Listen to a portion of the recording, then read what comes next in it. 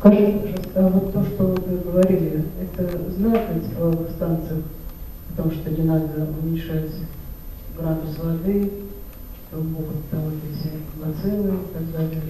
Ну вот Вообще, парадокс. вообще не знают эти слова, которые... На самом деле, большое начальство, конечно, об этом знает, понимаете? Вот. э, Кроме того, если э, правильные технологические карты присутствуют, то они должны исполнителями, непосредственно техническим персоналом, ЦТП, там, НТП, они должны исполняться. Проблема состоит в том, что зачастую в погоне за получением большей оплаты за предоставленную услугу, да, э, выдаются, ну, если по отоплению выдается, например, Т1 завышенные, вот как мы в прошлый раз наблюдали, вот. Здесь вполне возможно, например, что э, э, в ночное время нужно исследовать по э, суточным ведомостям, понимаете, а суточные ведомости получить может только управляющая компания, управляющая организация, и по запросу, понимаете, это нужно реально анализировать. Вот тогда вот э, можно э, говорить, выполняют они, например, вопрос понижения циркуляции в ночное время или не выполняют. Когда мы по часовых характеристики возьмем, можно об этом говорить. Вот. Конечно, э, к сожалению, у нас так все построено, что ресурсники не заинтересованы снижать э, объем выдаваемой услуги. А объем выдаваемой услуги для МАЭКа – это гигакалории. Сами понимаете, чем больше они греют, тем вроде для них получается. Э, Я, я- я хотел бы немножко добавить к тому, что вы начали насчет э, замены трубопроводов по городу. Так?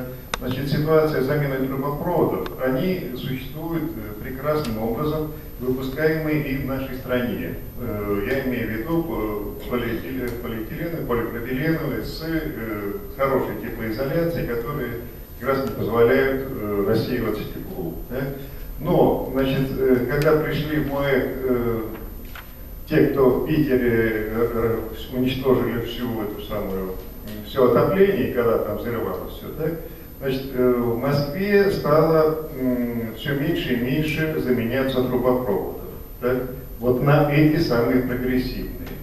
Э, С появлением, э, после того, как куплен был, кор- короче говоря, МАЭК Газпромом, э, замена этих трубопроводов практически прекратилась, потому что ему надо отбить эти деньги. так.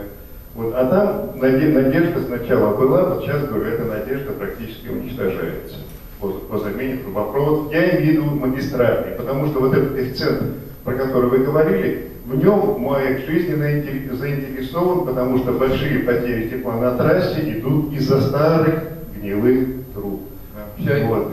я с вами абсолютно Да. согласен, только вот этот коэффициент, э, он считается, вот по данным формулам, сами понимаете, он считается для конкретного дома, да? То есть, когда я говорил, э, ваше дополнение относительно внешних трубопроводов, Да, да. а внутренний трубопровод, на самом деле, тоже, если экономию вводить, их тоже нужно использовать более современно. И еще, Александр Прокопьевич, значит, два вопроса, пожалуйста. Значит, э, вот смотрите, э, вот, вот наши домо- э, квартирные приборы учета, да, они набегают там, за эти 4-6 лет, соответственно, какие-то очень маленькие кубометры. Да? И вот э, мно- многие жители говорят, ну, да вы что, не, не сходите с ума. Да? Зачем мне менять, у меня он там всего 100 кубометров за эти 6 лет набежало. Да? И говорит, не буду я никогда в жизни менять, не заставите. Вот как быть с таким аргументом, потому что действительно они набежали сейчас. Это первый вопрос. И второй, второй вопрос. Значит, э, приборы учета существуют э, антимагнитные. Сейчас, насколько мне помнится, они уже выпускаются практически все антимагнитные, то есть вот э, защитой вот этой самой магнита. А, Ну да, действительно, современные приборы учета выпускаются антимагнитные, но тем не менее, при си- сильный магнит, даже вот если на ось воздействует, там все-таки какой-то момент получается, э, ну, все равно можно добиться какого-то влияния. Поэтому, э, значит, э, когда говорил я о пломбах, и когда, так сказать, решение с помощью пломб, нужен был формальный э, объективный показатель, по которому, по которому можно было определить, подвергался ли прибор учета магнитному воздействию или не подвергался. Вот. И с помощью вот таких пломб этот показатель реально появился. Вот. Значит, э, по поводу первый вопрос, еще раз. А, вот по объему потребления. Да, смотрите, получается очень интересная действительно вещь, что э, по наработкам, по наработкам у нас каждый счетчик может работать там, скажем так, ну я там считал, порядка там 5-8 тысяч кубометров пропуска. А за 5 лет получается, дай бог, 400-600 кубометров он пропустил. Вот. Но э, однозначно сказать вот так, что если он не работает, это вот машина, если ваша не ездит, это не значит, что она вам, у вас будет ездить дольше, понимаете? В этом плане, в этом плане все равно вода оказывает определенное воздействие, имеющееся там. Вот. Э, и практика просто реально показывает, что вот вы попробуйте, посмотрите на свои приборы вот, вот тут, э, той процедуре, которую я вам рассказал. И вы увидите, что, к сожалению, зачастую там, но это тоже нормативно определено, вертикально стоит прибор или горизонтально. Вот. Считается, что горизонтальный прибор э, показывает более, ну там, меньше прозрачности имеет, чем вертикально установленный прибор.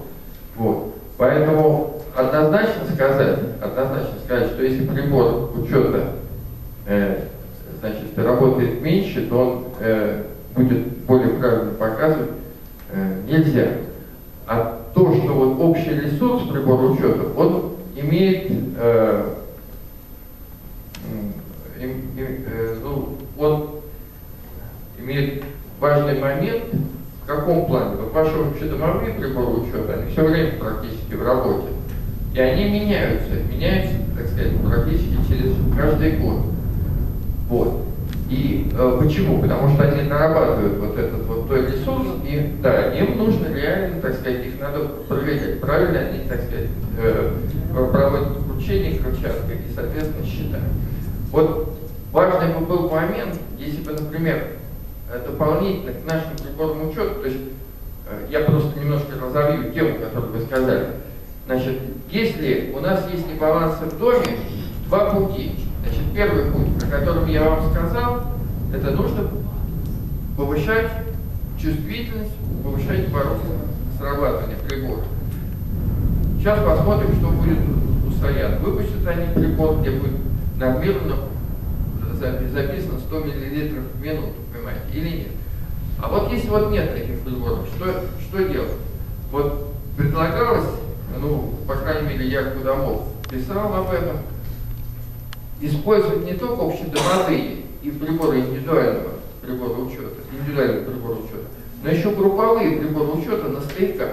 Вот здесь, понимаете? Вот здесь, на входе и на выходе.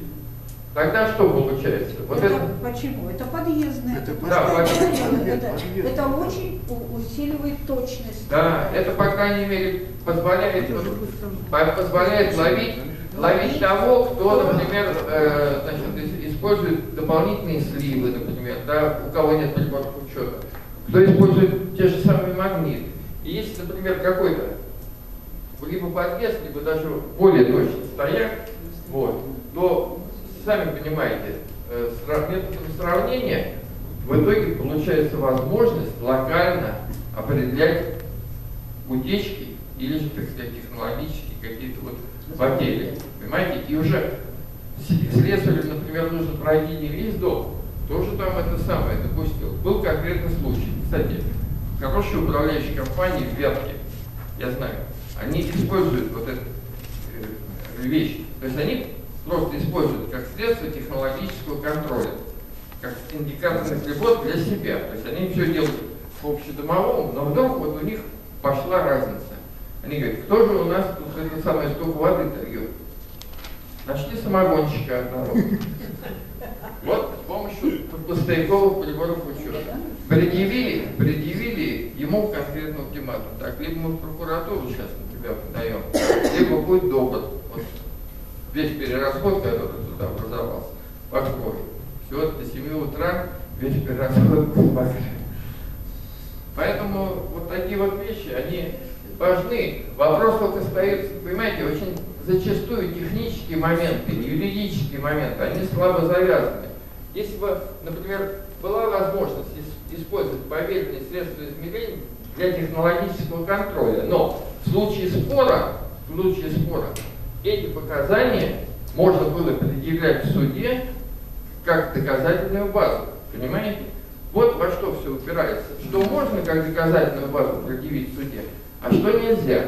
И вот из-за этого идет вот вся, вся вот, как бы, понимаете, заморозка. А зачастую, зачастую, вот разные вот это вот усреднения по всем домам, коэффициенты, например, э, теплового нагрева, вот. Это же, ну как сказать, по-хорошему, вот каждый дом имеет, должен иметь свои нормативы потребления, которые статистикой за какое-то время фактически образовались. Это был, был самый идеальный вариант. Утвердить методику образования этих нормативов, соответственно, фиксацию этих нормативов, сроки пересмотра этих нормативов. Все. Вот это был правильный подход. Но по нему почему-то не идут. Потому что в этом случае, да, в этом случае потери ресурсников тоже будет оплачен. Сами ресурсники их не хотят оплачивать. Следующий вопрос. Да. Вот вопрос касается вот того же самого, может, я тут посчитал, э, вот эти 0,5 литров в минуту, да, предполагается же все время, ну, среднее, да. Э, если прикинуть, э, получается 30 литров в час, 720 литров в сутки, и э, за месяц, соответственно, 21 кубометр. 21 а, Значит, а, получается, вот деревска вот такая. А, ну, наверное, все-таки неправильно так считать, потому что по-разному как-то все это считается. Или неправильно. А я вот могу сказать так. Вот есть, например, в бачке по холодной воде, вот у вас течет утечка, вы уехали в отпуск.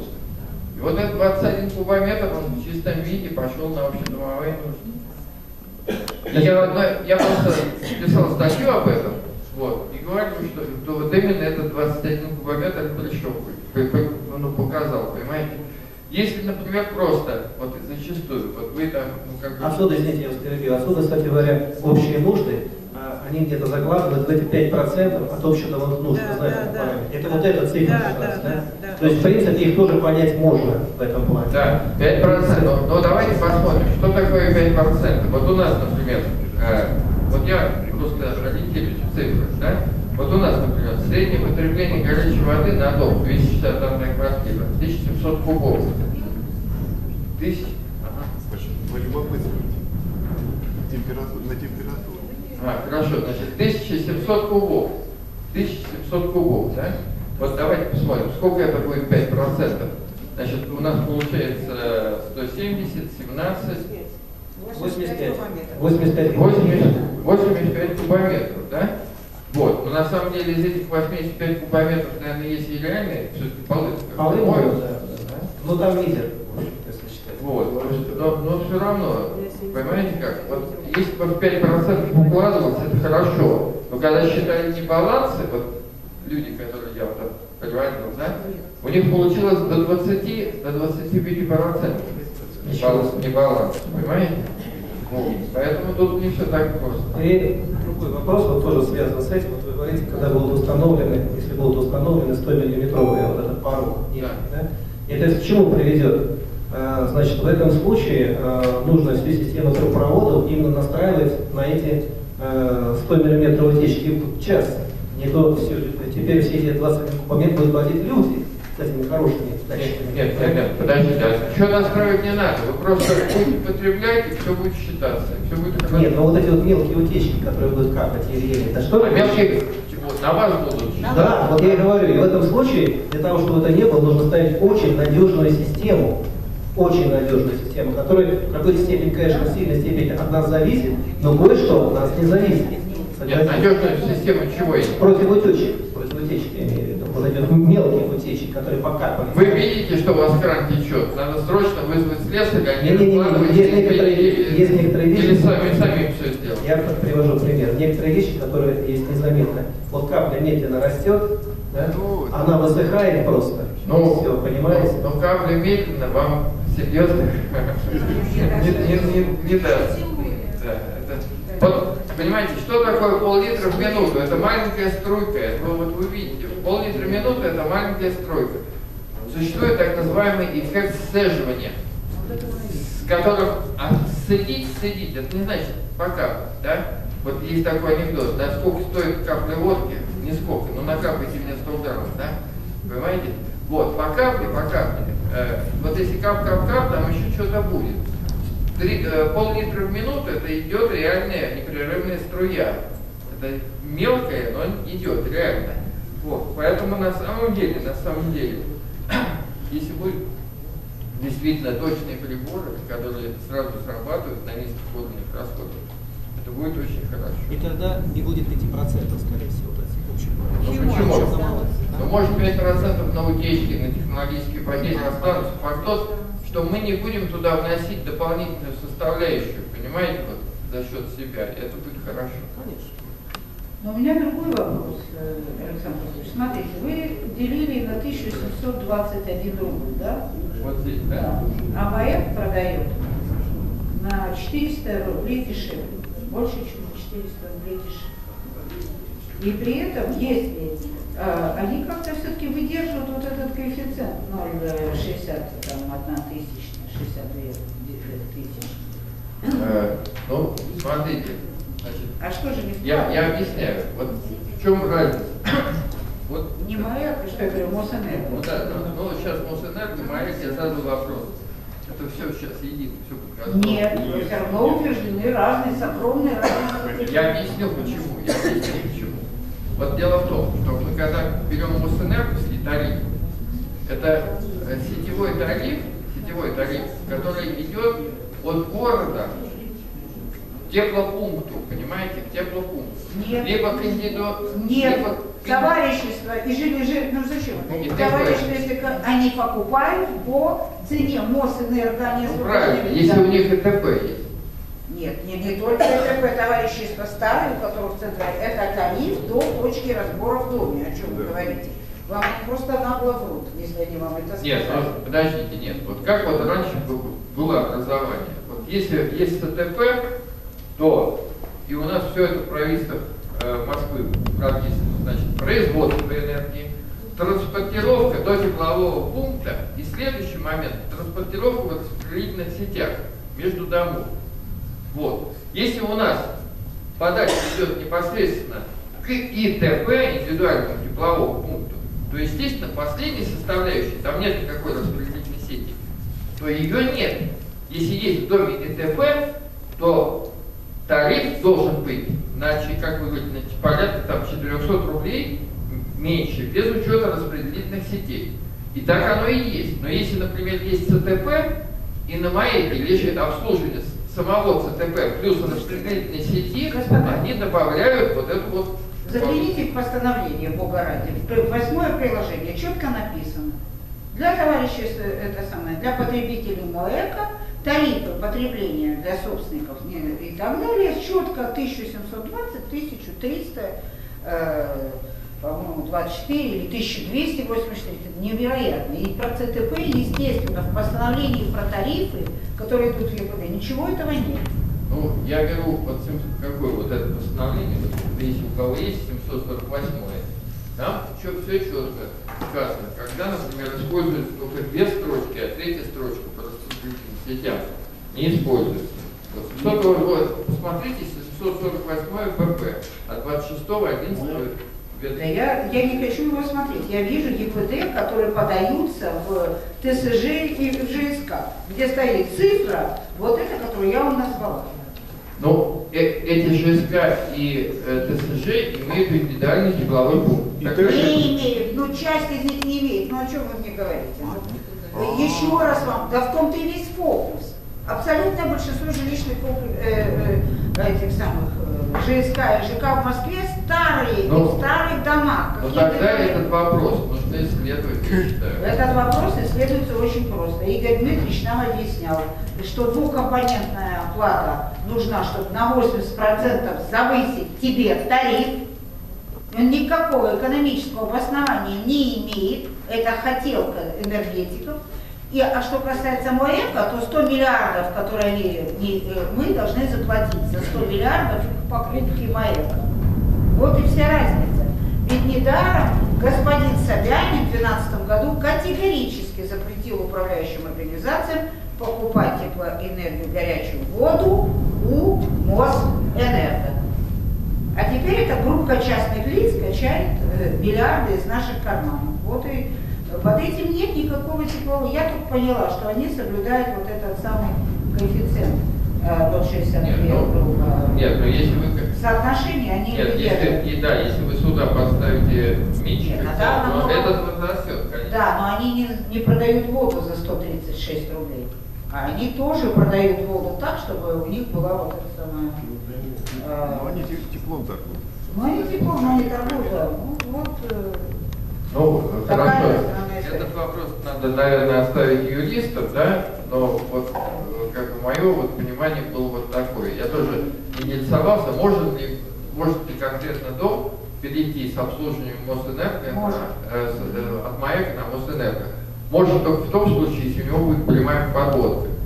Вот, понимаете? А если, а если от ЦТБ, ну, возможности такой нет. Нет, это те же сказки, что не- нельзя ставить счетчики носить, и все, из этой же оперы. Нет, я этим вопросом занималась, потому что у нас руки не доходят. У меня вопрос вот какой. А что нам мешает утеплять стальные